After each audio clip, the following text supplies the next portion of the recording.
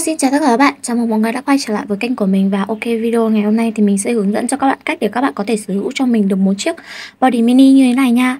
Thì bởi vì là có nhiều bạn khá là thắc mắc với lại cả hỏi mình về cái vấn đề body mini ấy.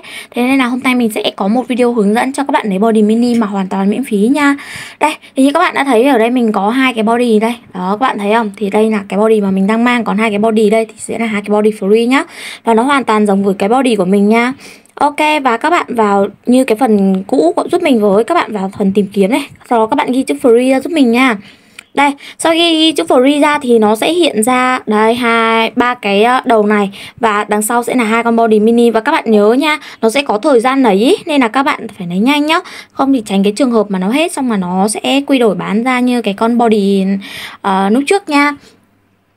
ok, và đây đây chính là hai cái body đấy. Các bạn thấy không? Nó hoàn toàn giống và tí nữa mình sẽ hướng dẫn cho các bạn cách để các bạn có thể chỉnh được nó đẹp như con body của mình ha. Và đây có ba cái đầu ờ, như thế này. Thì các bạn cũng có thể lấy về, mình thấy nó cũng khá là đáng yêu ấy. Nhưng mà mỗi tội là nó vẫn sẽ kiểu ờ, có vài cái ờ, map mà nó sẽ hoặc là vài cái game ấy thì là nó sẽ ờ, không vào được và nó sẽ bị ờ, mất nha. Và bây giờ mình sẽ chỉ cho các bạn cách để các bạn có thể chỉnh được body đẹp như mình nhá. Thì các bạn vào phần head and body này sau đó là các bạn uh, vuốt xuống dưới giúp mình này. Đây, sau khi các bạn vuốt xuống dưới nó sẽ có một cái phần tên là beauty gì gì này nè. Đó, các bạn chỉnh như mình nha. Đây, kéo vuốt hết cục cái xuống dưới.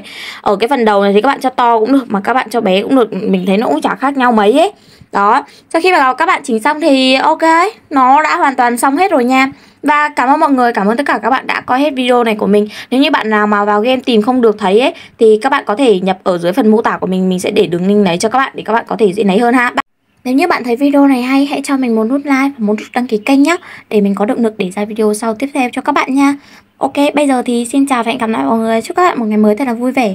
Bye bye!